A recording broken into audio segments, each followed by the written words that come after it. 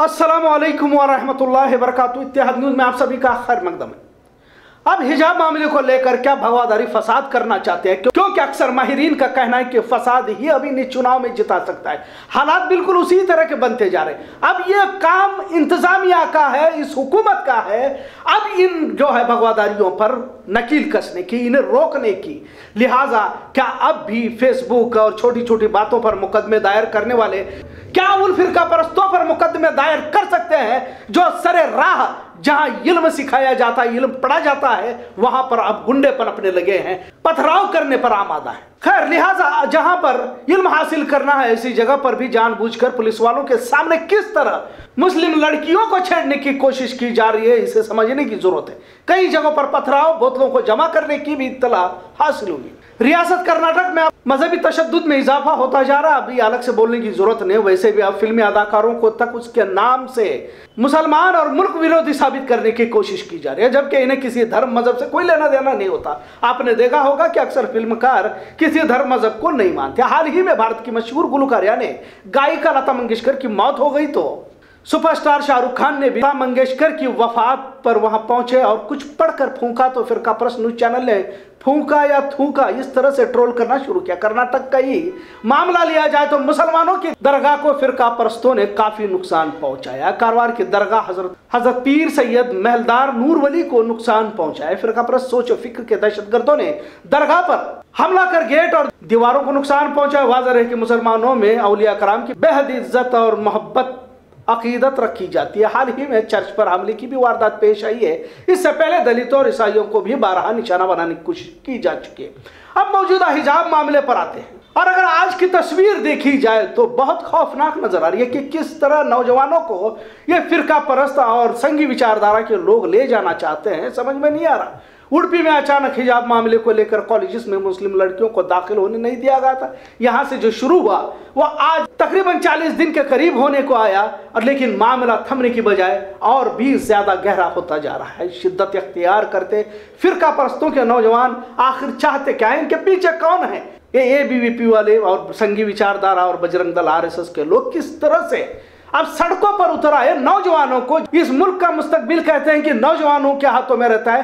उन्हें किस तरह की नफरत का जहर उनके जहन दिमाग में घोला गया, इस पर महज नज़र डाली जाए तो ताजुब लगता है। खैर तो मुस्लिम लड़कियों को कॉलेज में दाखिल होने नहीं दिया गया, यहाँ से मामला शुरू हुआ। क्या ये सब अचानक हुआ? क्या इससे पहले भी हिजाब पहनकर मुस्लिम तलवार कॉलेजेस में नहीं आया करती थी? मतलब इतना ज़रूर है कि ये सोचे समझी साजिश के तहत इस मौजू को छेड़ा गया।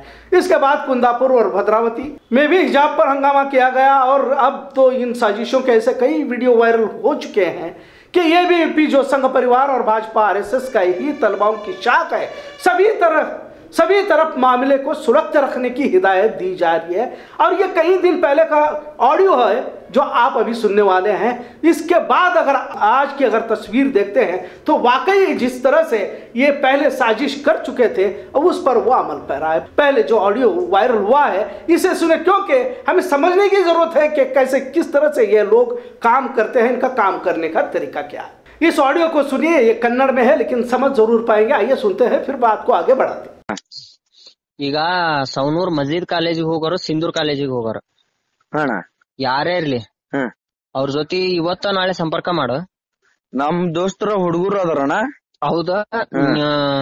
ಅವ್ರ ಜೊತೆ ಸಂಪರ್ಕ ಮಾಡಿ ಅವರಿಗೆ ಸೋಮವಾರ ದಿವಸ ಕೇಸರಿ ಶಾಲ್ ಹಾಕೊಂಡ್ ಬರಕ್ ಹೇಳ. ಸೋಮವಾರ ಅಣ್ಣ? ಹಾ ಅಲ್ಲಿ ಅರುಣ್ ಮೆಕ್ಕಿ ಅಂತಂದು ನಮ್ ಕಾರ್ಯಕರ್ತರು ಇದಾರ. ಅವರು ಎರಡು ಕಾಲೇಜಿಗೆ ಭೇಟಿ ಕೊಡ್ತಿದಾರ. ಅಲ್ಲಿ ಏನೇ ತೊಂದ್ರೆ ಬಂದ್ರೆ ಅವ್ರು ಎದುರಿಸ್ತಾರ. ಅವ್ರಿಗೆ ಕೇಸರಿ ಶಾಲ್ ಹಾಕೊಂಬರಕ್ ಹೇಳ್ಬಿಡು. ಸೋಮವಾರ ದಿನ. Majeed college Sindhoor college. ಎರಡು ಕಾಲೇಜು. ಸಿಂಧೂರ್ ಅಣ್ಣ? ಹಾ ಸಿಂಧೂರ್ ಕಾಲೇಜಿಗೆ ಹೋಗೋರು ಇರ್ತಾರ. ಈ ತೆಗಳಿ ರೋಡ್ನಲ್ಲಿ ಆ ವಿದ್ಯಾರ್ಥಿಗಳಿಗೆ ಹೇಳ್ಬಿಡು. ಅಲ್ಲಿ ಅರುಣ್ ಮೆಕ್ಕಿ ಅಂತಂದ್ ಬರ್ತಾರ. ಅವ್ರ ನಂಬರ್ ಬೇಕಿದ್ರೆ ನೀನ್ ಕಳ್ಸಿರ್ತೀನಿ. ಅವ್ರನ್ನ ಕಾಂಟ್ಯಾಕ್ಟ್ ಮಾಡಕ್ ಹೇಳ. ಹಾ ಕಳ್ಸಣ್ಣ ಇನ್ನೇನ ಮಜೀಸ್ ಕಾಲೇಜಿಗೆ ಬಾಳ್ ಮಂದಿ ಹೋಗ್ತಾರಣ್ಣ ಹಾ ಅವ್ರಿಗೆ ಹೇಳ್ಬಿಡು. ಸೋಮವಾರ ಇಲ್ಲಿ ಈಗ ಚರ್ಚೆ ಆಗಿದ್ದು ಗ್ರೂಪ್ನಾಗ. ಹಾ ಆಯ್ತಣ್ಣ ಮಜೀದ್ ಕಾಲೇಜಿಗೆ ಮತ್ತೆ ಸವನೂರಿಗೆ ಸವನೂರ್ ಎಲ್ಲಾ ಕಾಲೇಜಿಗೂ ಹೋಗ್ತಾರ ಅವ್ರು. ಈಗ ಮಜೀದ್ ಕಾಲೇಜಿಂದ ಒಂದು ಯೋಚನೆ ಮಾಡೋಣ. ಸರಿ. ಹಾ ಸರಿ. ಜೈ ಶ್ರೀರಾಮ್. हाँ जय श्री आपने सुना होगा कि कैसे कॉलेज के तलबाओं को भगवा शाल पहन कराने के लिए कहते हुए औरों को भी इस तरह काम करने के लिए कहा जा रहा है और अपने कार्यकर्ता, यानी अपने कारकुनान वहाँ होंगे। सिंदूर कॉलेज का नाम भी लिया है। इसके बाद कई सारे कॉलेजेस में इस तरह की वारदात हमने देखी है।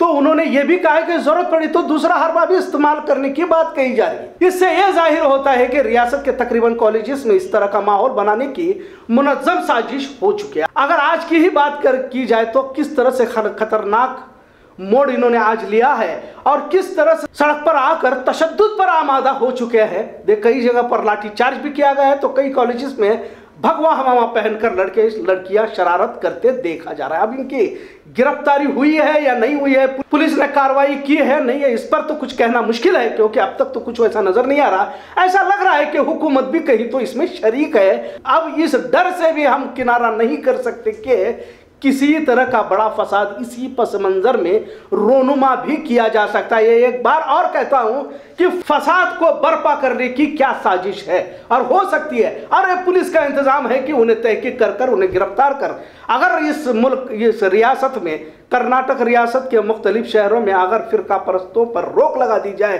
तो हो सकता है कि फसाद बर्पा न हो अब वो इंतजामिया का है, हुकूमत का मामला है। अब खैर, हुकूमत क्या चाहती है एक अलग मामला है। अब कुंदापुर की तलवात को कॉलेज में दाखिला तो दिया गया पर इन्हें अलग क्लासेस में बिठाया जा रहा है। अब ये भी बात गौर करने की है कि आखिर अलग क्लास क्यों? क्या इस तरह मुस्लिम तलबा व तालिबात को अछूता बनाने की साजिश तो नहीं है? खैर, कई सवाल है। अब अहम पहलू की तरफ़ रुख करते हैं कि 35 दिन के बाद मुसलमानों ने एहतजाज करने शुरू किए हैं। इसकी एक वजह यह भी रही कि ना सिर्फ़ कर्नाटक बल्कि आलमी सतह पर भी इसकी चर्चा जारी है। मीडिया में भी इसका तस्करा बहस जारी है। इससे पहले भी हमने देखा है कि सी एनआरसी को लेकर मुस्लिम खातन सड़कों पर उतर कर एहतजाज करती रही। शाहीनबाग को भी बेहतर मिसाल के तौर पर देखा जा सकता है। खैर, बेलगाम शहर में भी कई सियासी पार्टियों ने कल एहतजाज किया। इसमें कसीर तादाद में खातन भी शरीक रही। इसकी वजह सियासी पार्टियों की हिमायत में नहीं है। यह बात को भी गौर करने की ज़रूरत है कि इस बात पर खुश होने की ज़रूरत नहीं कि या हमारी पार्टी की खातन थी और हमारी पार्टियों की खातन ज़्यादा थी। तादाद में ऐसा नहीं है, बल्कि हिजाब मुसलमानों की तहजीब पहचान है, जिस पर हमला कोई भी बर्दाश्त नहीं करता। और उर्पी कुंदापुर की लड़कियों ने ये कर भी दिखाया है। अब इनकी हिमायत में रियासत के मुख्तलिफ़ शहरों में खातन की जानब से एहतजाज किए जा रहे हैं। असल मसला ये है कि बिचारी जो मुस्लिम खातन है, एक जज्बे के साथ शरीक हो रही है। इनके हाथ में सियासी पार्टियों के झंडे दिए जा रहे हैं। क्या इसमें सियासी पार्टियों की शनाख्त या पार्टियों को सियासी माइलेज मिले? इसके लिए हिजाब के मसले को इस्तेमाल किया जा रहा है। क्योंकि इस पर आवाज़ तो पहले ही उठानी चाहिए थी, लेकिन महीने बाद आवाज़ उठाने वाली जो भी पार्टियाँ हैं या फिर इनके कारकुन है, क्या इन्हें मुसलमान इस्लाम से मोहब्बत है या इन्हें इनकी पार्टी से मोहब्बत? क्योंकि आजकल यह देखा जा रहा है कि मुसलमानों में जो भाईचारा अखवत मोहब्बत, कलम तैयबा की बुनियाद पर होनी चाहिए थी, इससे बढ़कर इन्हें अपनी सियासी पार्टियों से, इनके लीडर से हो चुकी है। भले कोई इसे कबूल करे या ना करे, लेकिन सच्चाई है कि अगर एक पार्टी का कारकुन या लीडर दूसरे पार्टी के अफराद को ऐसे देखता है, जैसे कोई जमाने का दुश्मन हो, अब तो शायद ऐसी नौबत नज़र आ रही है। अगर आप फलाम पार्टी के नहीं हो तो हो सकता सकता है कि आप पर कुफ्र का फतवा भी लगा दिया जा सकता है। और शायद अनकरीब हालात इस तरह के बन सकते हैं। क्योंकि इससे पहले मसलक की बुनियाद पर तमाम चीज़ें देख चुके हैं। लिहाजा अब आवाम में दीनी बेजारी देखी जा रही है। और उम्मत का अक्सर तबका अब सियासी पार्टियों का पिछलग्गू बनते हुए देखा जा रहा है। ये तमाम बातें इसलिए कह रहा हूँ क्योंकि ऊपर जो वारदातें पेश आई है और इनके काम करने का तरीका और मुसलमानों का आपस में रवैया, इनके लीडरों का रवैया मुसलमानों के सभी हिमायती है। इनके नाम भी इसी नहज पर है। लेकिन एक दूसरे को दलाल, अंधभक्त कहते हुए गाली गलोच पर उतर आते देखा जा सकता है। क्या मुसलमानों का ये रवैया सही है? कोई भी पार्टी का हो। क्या इसके लिए वाकई पार्टी इतनी महबूब हो चुकी है कि मुसलमान को नफरत से देखने लगेगा? क्या अब यही सब देखना बाकी रह चुका है? क्या अब आखिरत के फैसले इनकी सियासी पार्टियों की बुनियाद पर किए जाएँगे? आखिर अपने ही भाइयों से इतनी नफरत कहाँ से लाते हैं ये लोग? एक तरह का अजीब माहौल देखने को मिल रहा है। हालात कहाँ से कहाँ तक पहुँच गए? सियासी पार्टियों से मोहब्बत की एक सतह तय की जानी चाहिए, जहाँ आपसे इख्तलाफात को खत्म कर, एक उम्मत बनकर मोहब्बत का मुजाहरा करे। हाल ही में दलित भाइयों ने चिकमंगलूर में हिजाब की हिमायत में भगवादारियों के खिलाफ एहतजाज किया, जिसे मुस्लिम समाज के जिम्मेदारान को सराहना होगा। और ये महज नीला गमछा या भगवा गमछा की लड़ाई नहीं है, बल्कि संविधान को मानने वाले और संविधान विरोधियों के बीच की लड़ाई है। देश के तमाम सेक्युलर लोगों को संविधान बचाने के लिए आगे आना है। मुस्लिम समाज में जिस कदर पार्टियों की मोहब्बत को आला और बरतर समझा जा रहा है, इससे आने वाले दिनों में बड़े नुकसान से हम सबको दो चार होना होगा। मसल के अख्तलाफा के नुकसान से अभी हम उभरे हैं। जो भी खातन आज हिजाब को लेकर आगे बढ़ रहे हैं, इनके हाथ में किसी पार्टी का परचम ना दे, बल्कि इस्लामी तहजीब को बचाने की लड़ाई लड़ी जाए, उम्मत के उन लोगों से यही दर्दमंदाना अपील है कि Congress M I M H D P I J D S Sapa, Basapa के ऊपर उठकर संविधान को कैसे बचा सकते हैं? और जिस संविधान सभी मजाहिब की तहजीब, की इज़्ज़त, एहतराम और हिफाजत का जो हुक्म हमें दे रहा है, इस पर कायम रहने की कोशिश करनी चाहिए। लिहाजा पार्टियों के आड़ में मजहबी रिश्ते, मजहबी दायरों को पामाल करने की कोशिश ना करें। यही आज का पैगाम है। इतिहाद में देखने के लिए शुक्रिया। अल्लाह हाफिज।